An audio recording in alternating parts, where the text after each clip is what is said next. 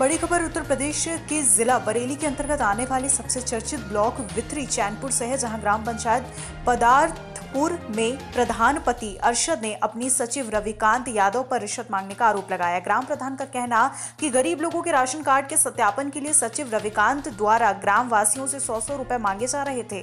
साथ ही इनके द्वारा ग्राम वासियों से मृत्यु और जन्म के सत्यापन के लिए भी पैसे लिए गए थे। ग्राम प्रधान पति का कहना है कि मैंने जब ग्राम प्रधान के माध्यम से इसका विरोध किया तो इनके द्वारा मुझको धमकाया जाने लगा और कहा गया कि तूने कर ली प्रधानी, मुझ पर नाजायज तरीके से दबाव बनाया जा रहा। साथ ही उनका कहना इससे पूर्व में भी कई प्रधानों से इनकी नोकझोंक भी हुई, उन्होंने इनकी शिकायत भी की थी, लेकिन विभाग की साठगांठ के चलते आरोप की जाँच को दबा दिया गया। वहीं ग्राम प्रधान ने मामले की शिकायत अधिकारियों से करने की बात कही। आपको बताते चले कि उक्त सचिव फेसबुक जैसे सोशल अकाउंट पर काफ़ी एक्टिव रहते हैं और कभी वर्ग विशेष पर टिप्पणी करने के साथ मीडिया और पत्रकारों पर छीटाकसी करते रहते हैं, जिससे स्क्रीनशॉट आपको हम दिखा रहे हैं। आप देख सकते हैं इनके स्क्रीनशॉट।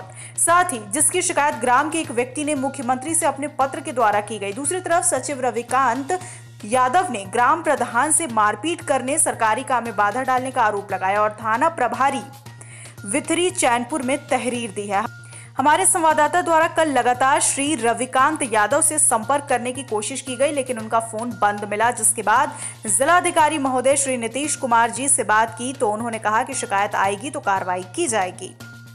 राशन कार्ड ऊपर से आदेश है एक महीने का टाइम था जी। कि जनता जो गरीब जनता है उनके राशन कार्ड बना दिए जाए। मैंने सचिव को बुलाया तो सचिव पर राशन कार्ड पे सौ रुपये मांग रहे हैं मोर लगाने के। अच्छा। कौन सचिव है? रविकांत यादव। ये कहाँ तैनात है?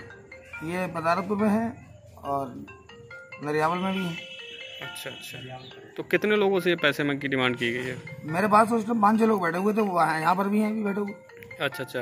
ब्लॉक बित्री चैनपुर निवासी जो हम प्रधान जी के निवास पर बैठे हुए थे ग्राम सचिव को कम से कम पिछले चार पाँच दिन से फ़ोन किया जा रहा था।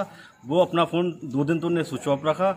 उसके बाद ये कह रहे थे कल आऊँगा परसों आऊँगा। आज कई लोगों ने फ़ोन करा जिम्मेदार लोगों ने फ़ोन करा तो आए निवास पर प्रधान जी के। और प्रधान जी जब कागज़ दिए तो बोले, हम इस कागज़ पे पर सौ रुपये लेंगे।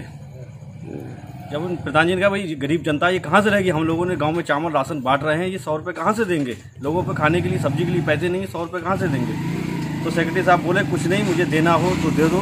प्रधान जी ये भी कहा था कि, लिखित में आप दे दो कि मैं साइन नहीं करूँगा। इसी बात को लेकर गाली गलौज हुआ, सेक्रेटरी ने गालियाँ दी। बरेली से ब्यूरो रिपोर्ट।